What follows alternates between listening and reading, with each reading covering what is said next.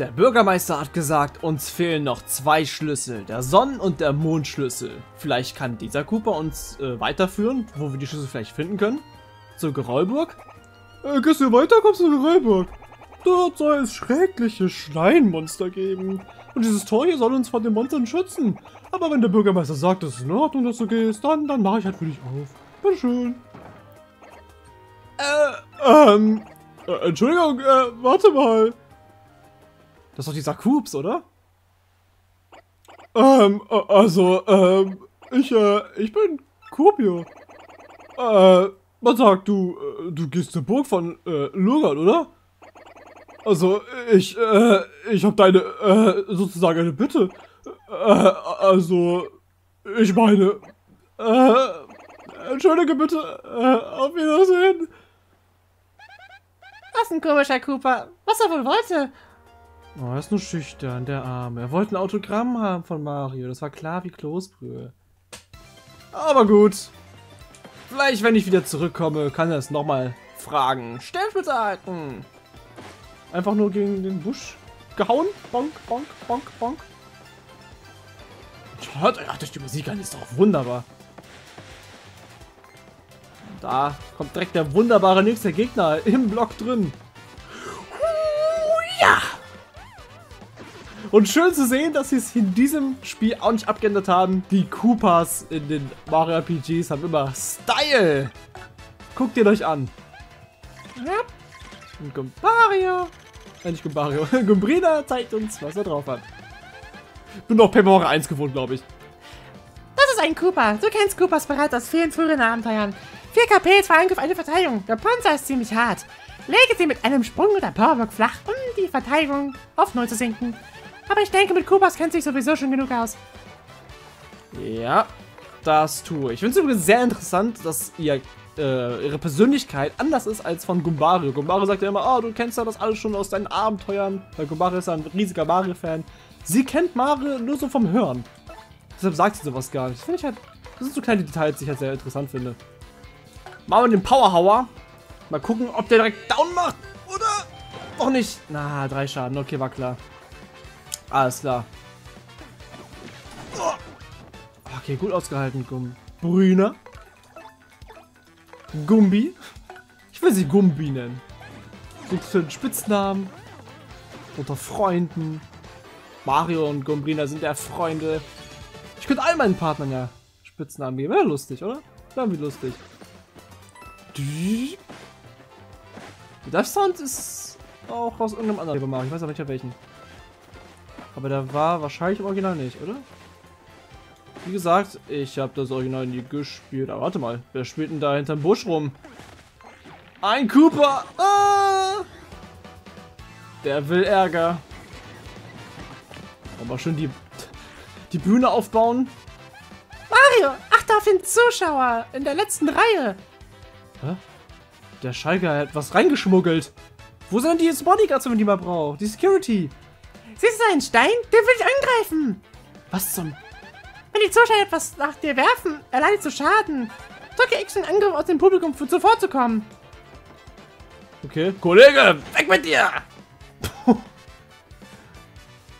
genau!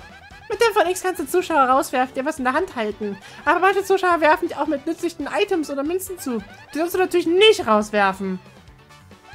Okay, aber die schmuggeln ja trotzdem was rein. Das dürfen die eigentlich nicht, aber hm, wir lassen das doch mal so durchgehen. Gut, Mario, zeig jetzt mal einen hammermäßigen Angriff. Greif mit dem Hammer an. Okay, will do. Ja! Na, leider nur einen Schaden. Oh, was? Wie hab ich das denn bekommen? Yeah! Die Bühne ist auf die runtergefallen. Manchmal hauen deine Angriffe die Kulissen um, aber Vorsicht, sie könnten auch uns auf den Kopf fallen. Okay, das ist cool. Das gefällt mir. Außerdem passieren auf der Bühne noch andere verrückte Sachen. Sag auf alles gefasst, gib dein Bestes. Ich finde das cool, dass es nicht nur stylisch hier alles ist, sondern alles hier einen Sinn hat. Das gefällt mir sehr. Okay, nur der erste Angriff macht keinen Schaden. Also es ist auf jeden Fall besser geregelt hier als in dem ersten Teil, wo du generell keinen Schaden gemacht hast mit deinen Partnern oder so Verteidigungsgegnern. Deshalb sehr, sehr nice. Bam!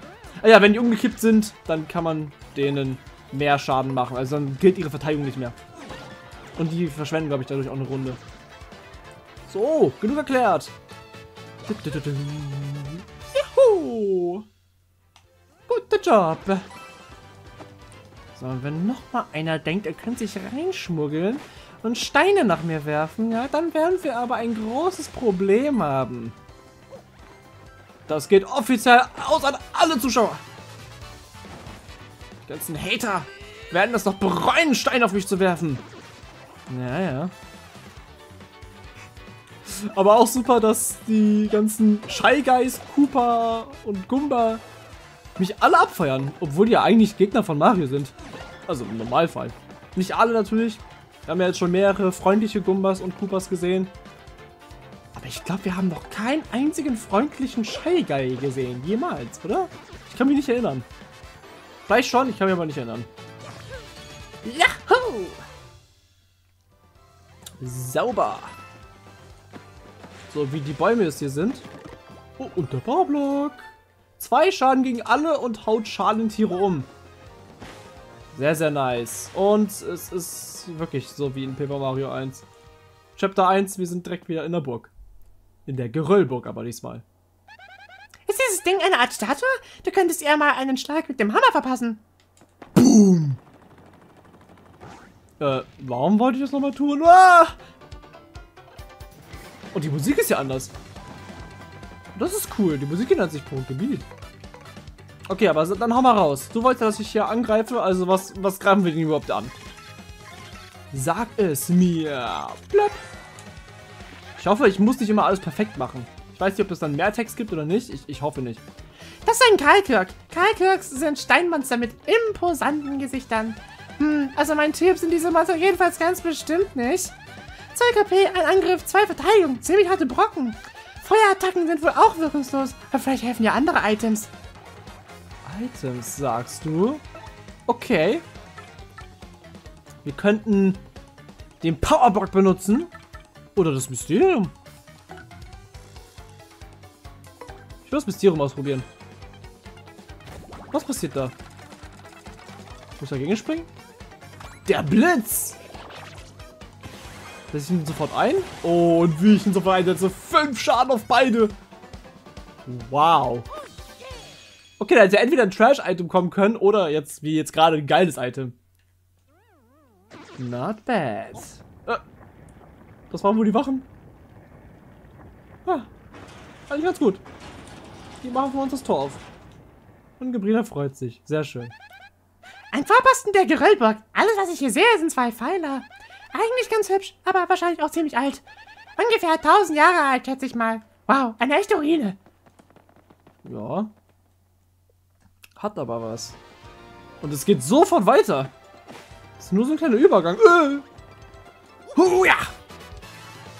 Der Jump erfolgt. Juhu, yippie! Und schaut mal, er ist direkt umgekippt. Das können wir als Vorteil nutzen. Aber den anderen da hinten will ich auch umkippen. Mhm. Und weiter drauf. So. Das ist ein bisschen nervig, dass wir noch nicht so viel Schaden machen, aber das kommt alles mit der Zeit. Zwar nicht mit dem Level up, aber wie gesagt, das kommt alles noch. So, und ich glaube, wir können jetzt gar nichts mehr gegen uns machen, oder? Hä? Was? Bingo-Zeit? Was ist einfach ein Sticker-Star? Was zur Hölle? Oh, schade. Was wäre dann passiert? Hätte ich es geschafft? Ach so, und deshalb wird auch immer gesagt, ich muss auf den Vordergrund achten. Weil da könnten ja auch Leute sein, die mich abwerfen. Mit Tomaten. Oder Stein. Oder Tomaten gefüllt mit Stein. Das wollen wir nicht. So, aber oh, wir kriegen auch Leben von denen. Auch sehr gut. Blab, blab. Es macht viel mehr Spaß, alles äh, drauf zu hauen, alles kaputt zu hauen, als äh, A zu drücken und da, ne? Kann man sogar gar nicht mehr. Okay. Also ich muss alles kaputt hauen. Mache ich leidenschaftlich gerne. Von daher, kein Problem. Bam! Voll ins Gesicht. Aber, und, ja, und wie? Bam! Down. Luigi! Schau mir zu, Bro. Ich krieg das richtig gut hin. Juhu, yippie! So, und noch einmal. Man kriegt echt viel XP generell. Die Kämpfe hier verlaufen so viel smoother und so viel schneller als im ersten Teil. Das gefällt mir richtig gut. Yeah. Generell finde ich das Hauptgameplay sogar ein bisschen besser, würde ich sagen, als im Vorgänger. Warum spiele ich in der Luft? Cool. Tue ich generell nach oben gehen, wenn ich da drauf stehe? Warte, ich will das kurz ausprobieren. Ja, manchmal. Gerade nicht, aber vorhin hat es geklappt. Die nächste Burg. Ein Vorpost der Geröllburg. Alles, was ich hier sehe, sind zwei Pfeiler. Natürlich ist das Gebäude für Archäologen interessant. Also, also für Leute für mich. Mhm. Wetten, dass hier ein tüchtiger Hammerschlag dieselbe Wirkung hat wie bei den anderen Dingern? Aber das ist nur eine so eine Idee. Was mit deinem Hammer anstellst, ist natürlich deine Sache. Okay. Ja, komm, hauen wir mal drauf. Blub. Die sehen ja sehr lustig aus, die Typen. Und die wollen natürlich auch kämpfen.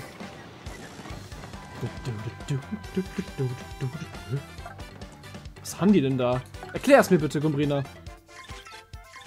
Gumbarina. Gumbaria. Das ist ein Dornhart. Ein Steinmonster mit Dorn. Also wirklich Dornhart. 2 KP, ein Angriff, 4 Verteidigung. Feuerattacken wirken gar nicht. Angriffe mit dem Hammer sind nicht allzu klug. Diese Biester können sich wehren. Hammer und Sprung fallen aus. Bleiben also nur Items. Wirklich fiese Typen. 4 Verteidigung. Ich kann nur mit Items angreifen. Ich meine, okay, zwei Powerblöcke würden... Ne, ein Powerblock würde sogar reichen. Oder eine Feuerblume. Na, wisst ihr was? Machen wir den Powerblock. Muss ich den Time? Oder ist er automatisch? Automatisch. Boah, die XP lässt sich sehen, du. 14 für die Nubis da. Let's go. Ich frage mich, ob das Spiel am Ende einen Hard Mode bekommt. Vermutlich nicht, aber wäre cool. Aber na gut, gehen wir weiter. Noch ist das Spiel absolut gar kein Problem. Hatte noch kein einziges Problem in diesem Game. Und ich glaube noch nicht mal, dass ich Probleme gemacht, äh, äh bekommen hätte, wenn ich den ersten Teil nicht gespielt hätte. Ich glaube, dann hätte ich trotzdem kein Problem gehabt, weil das Spiel ist wirklich super simpel bisher. Und noch relativ einfach. Okay, sagen, ich lasse mich treffen, aber, aber ich meine das so. Ich meine das so. Ja, wir haben halt nur den, wie heißt das? Sternfit. Hilft uns jetzt noch nicht so viel. Leider. Will den hinteren angreifen. Oder kann ich das nur mit dem Powerhour? Gar nicht. Na gut. Da machen, machen wir halt den normalen Hammer. Bam. Okay, ich hätte vielleicht, drauf, vielleicht drauf springen sollen. Naja, macht nichts.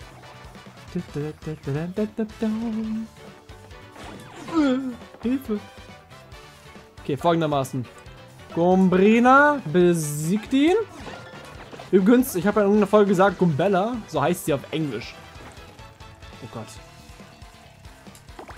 Ah, knapp. Komm, das kann man doch in Stern zählen. Ach komm schon, Spiel. Na gut. Also ja, Gumbella ist theoretisch auch richtig. Das ja die englische Name.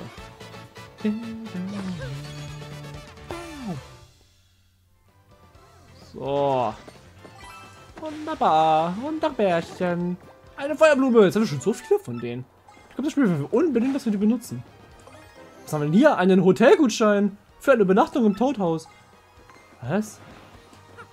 Das ist eine kostenlose Übernachtung oder wie soll ich mir das vorstellen? Komm her! Bam!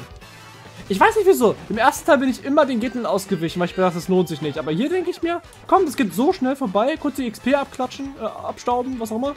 Easy. Bam. Das ist einfach irgendwie anders geworden alles. Aber besser geworden. Ich stelle mir die ganze Zeit vor, dass die Musik so durch die Speaker da abgespielt werden, links und rechts. Und äh, ich habe mich gerade gewundert, hat der Paragumba gerade Gumbaria? Äh, Gumbaria, Mann! Gumbreda, verdammt! Äh, Gumbreda angegriffen. Weil das, das konnte ich ja gar nicht wirklich erkennen. Dass er sie angreift und nicht Mario, oder? Also bestimmt hätte ich es erkennen können, aber ich wusste jetzt gerade nicht wie. Das, saß, das stand ja direkt neben Mario. Okay, muss ich nächstes Mal mehr drauf achten. Apropos achten. Achtet mal doch. Oh, noch eine Feuerblume, Alter. Achtet mal hier drauf. Fünf Münzen, um geheilt zu werden. Wisst ihr was? Eigentlich brauche ich das gar nicht. Mir geht's doch ganz gut. Ich behalte mein Geld. Andererseits 5 Münzen sind 5 Münzen. Nee, komm, ich behalte Juhu! Was bist du jetzt denn für ein Kauz? Das ist die Gerellburg. Ah, wir sind schon da.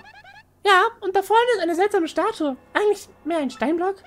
Ich habe übrigens schon mal etwas über diese Burg gelesen. Früher sind die Dorfbewohner hierher geflohen, wenn Monster das Dorf angriffen.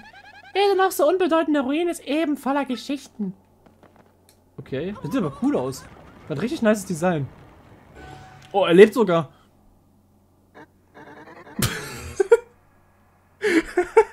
Der Sound. Wie schön, wieder Besucher in diesen Mauern zu sehen.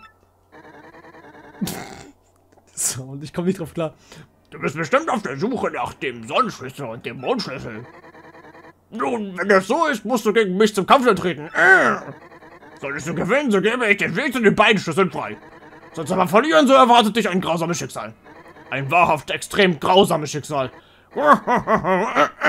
Nun nimmst du die Herausforderung an?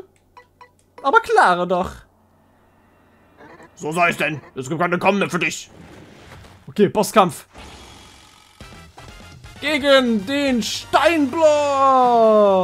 Äh, Das ist ein interessanter Bosskampf. Bist du Quizmo oder was? Es ist soweit. Zeit für das große Geröllbock-Quiz. Okay. Du siegst, wenn du auf fünf der folgenden Fragen richtig antworten kannst. Wenn du aber drei Fehler machst, bist du ganz und gar raus. Kommen wir zu Frage 1. Welchen Schatz bergen die Mauern der Geröllburg? Luigis Unterwäsche. Nein, den Sonnenschlüssel. Sonnenschlüssel. Bist du sicher? Yay. Das ist richtig. Gut, das war eine leichte Frage, aber jetzt ist es schwierig. Es geht weiter. Und jetzt Frage 2. Wie viel kosten ein Pilz und eine Feuerblume im Laden vom Blütenwalder zusammen? Äh, 5 plus 5 sind 10? Sind es 5 plus 5? Weiß es nicht. Ich sag mal ja. Nein. Kosten mehr. Deine Antwort war falsch, du Narr. Drei Fragen. Antwort, nee, drei falsche Antworten und es geschieht etwas Schreckliches. Auf zur nächsten Frage. Frage 3. Wer ist der Bürgermeister von Blütenwalder? Kupfried, Gerkub, Kupulas, Kuperich. Kupfried, Gerkub, Kupulas, Kuperich. Ich würde sagen Kuperich oder Kupfried. Ich glaube, Kuperich könnte mich im ersten Teil vorstellen. Ich glaube, Kupfried. Ich sage einfach mal ja. Wahrscheinlich ist es falsch, oder? Ah, Mist. Du Tor, deine Antwort war falsch. Noch ein Fehler und dein Schicksal ist gesiegelt. Ein letzter Fehler. Auf die nächste Frage. Und jetzt kommt Frage 4. Ganz einfach. Wo ist der Sternenjuwel? Äh, Logatsburg. Ganz Brot, sagst du, ja? Mhm. Muss ja so sein. Ding dong.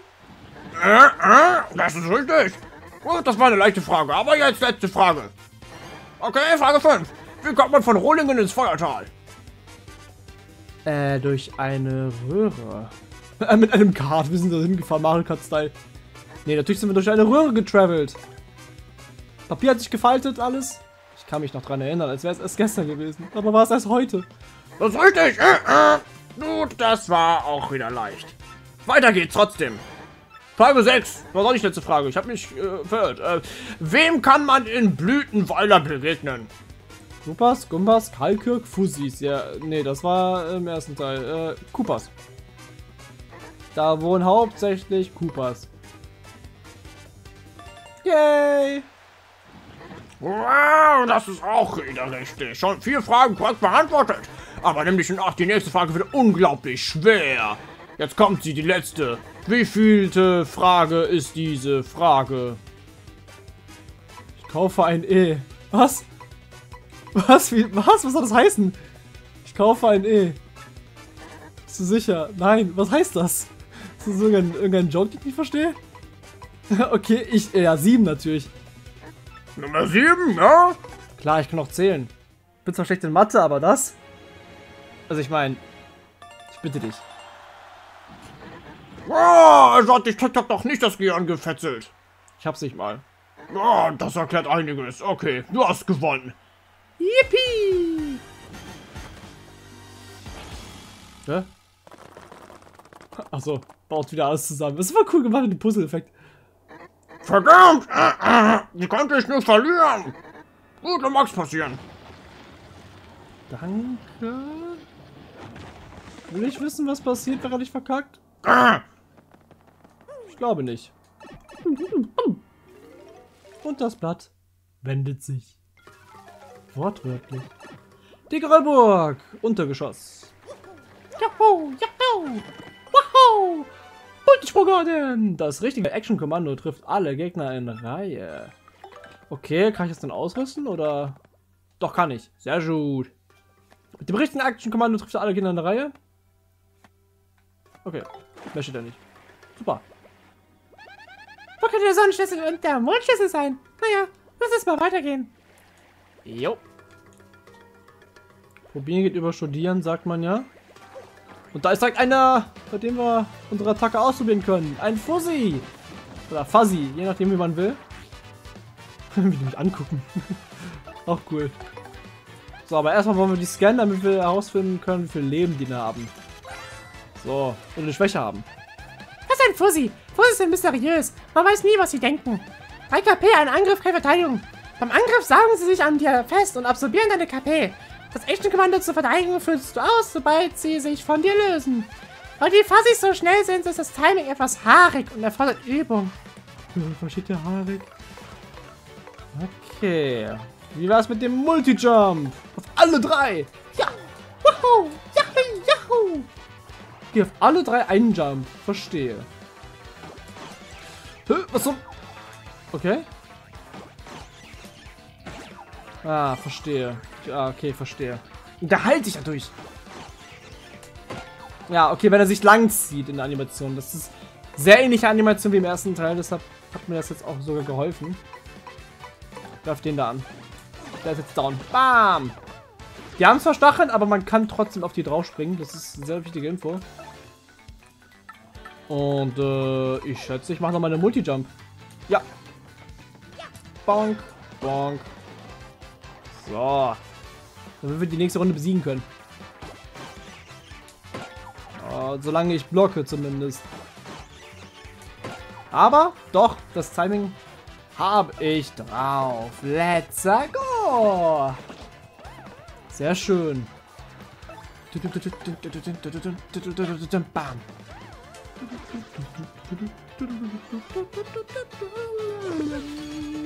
Yeah! Und da kippt er um. So viel die Kanalisation, wo du herkommst. Da ist der nächste. Was will der? Ha? Ich weiß nicht, sollen wir gegen alle Gegner kämpfen? Ich habe das Gefühl, langsam wird langweilig, oder? Ich will euch ja nicht langweilen. Ich will euch Unterhaltung pur bieten. Oh, ich mach den Multijump. Dann kann ich nämlich den vorderen schon mal killen. Und mit Gumbrina direkt den nächsten killen. Ha! Seht ihr, man muss nur die Orden richtig benutzen. Nur leider kostet er 2 BP statt 1 BP. Das, das kotzt mich ein bisschen an. Ja. Aber na gut. Ey, schau mal hier. Der Mondschlüssel. Yay. Ein Sternform eines Mondes. Oh, hi. Da geht's direkt weiter mit dem Kampf. Oh, viel von euch. Ähm, okay. Multijump. Yahoo! Yippie! Yahaha! Spitze. Dankeschön. So, und der erste kann schon mal weggehen.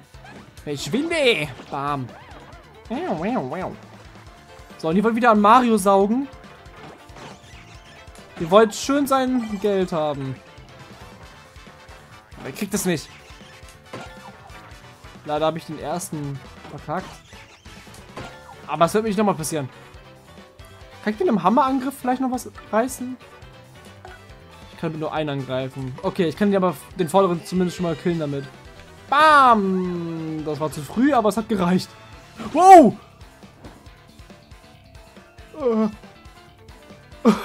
Das kam gerade ehrlich gesagt aus dem Nichts.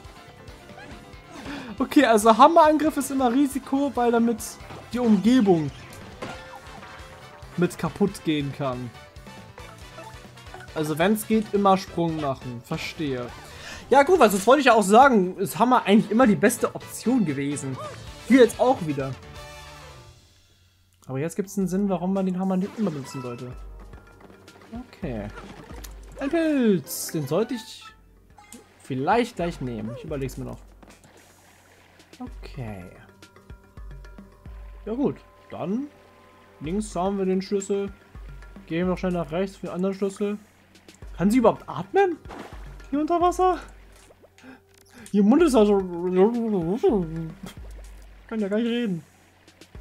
Aber... Mir ist kalt, die Luft ist kalt, es ist so eng hier, es ist so dunkel. Ja, entspann dich, wir sind ja gleich wieder draußen. Oh Mann, ich will nicht nochmal kämpfen. Komm, die skippe ich jetzt mal. Hier wird sowieso noch einer von oben runterregnen, habe ich recht? Bei dem Sonnenschlüssel, Stein in Form der Sonne. Ja, war klar. Okay. Ich finde, die hätten links Fussis und rechts irgendwelche anderen Gegner eintun können. Irgendwelche Paragumbas oder Pizgumbas oder so. Warte mal, der hat ein Item. Oh nein. Habe ich Sirup oder so? Kupablatt, BP. Äh, machen wir mal den Stern fit. Ja. Okay, los. Kann ich spam? Ich kann es actually sogar spam. Oh, sollte ich aber nicht. Hallo.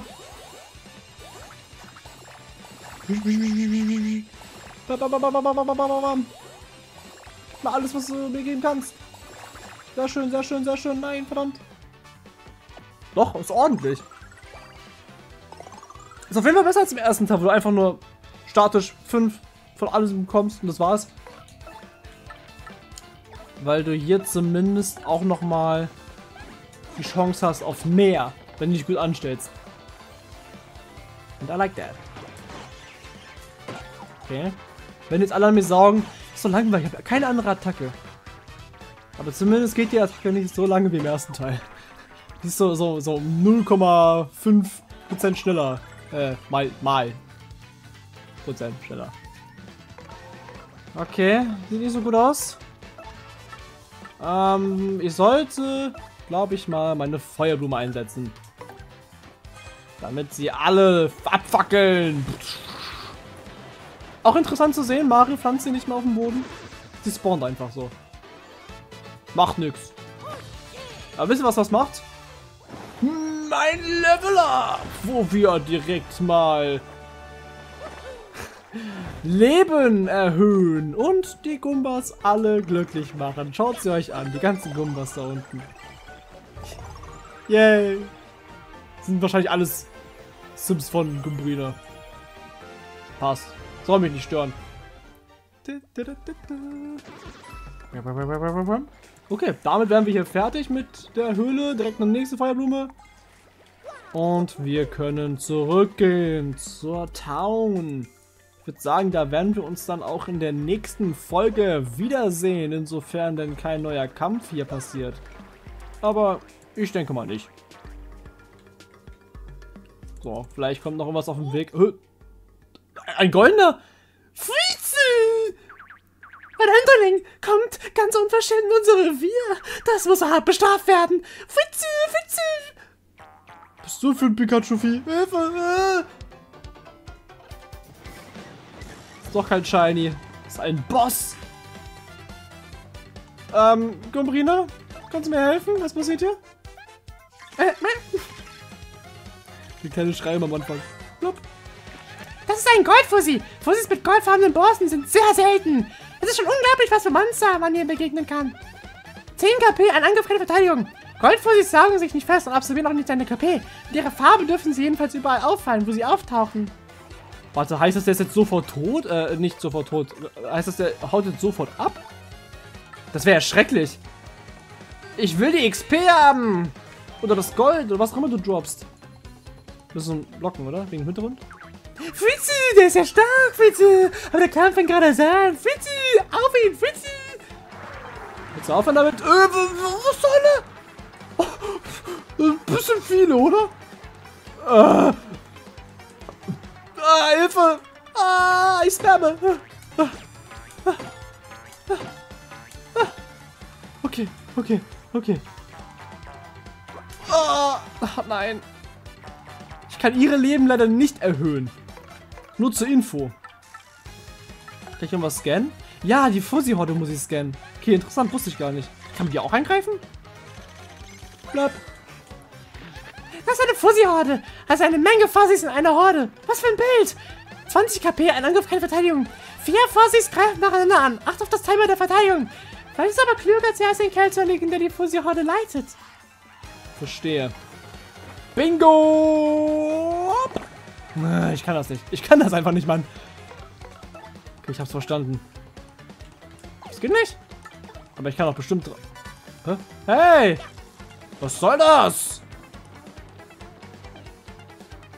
Ach, oder wolltet ihr mir ein Item geben? Warum wurde mir das denn so angezeigt, als würde er mich jetzt angreifen wollen? Spiel, was soll der Kack? Oh Mann.